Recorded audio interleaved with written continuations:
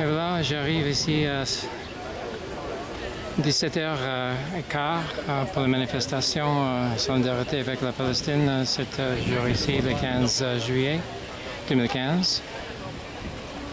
Et avant que quelque soit peut arriver, il y a la police ici. Ah, voilà.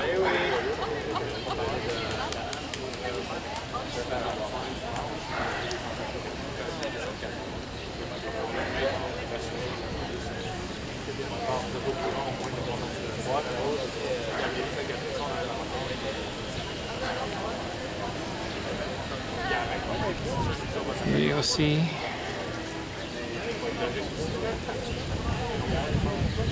Eh, eh, eh,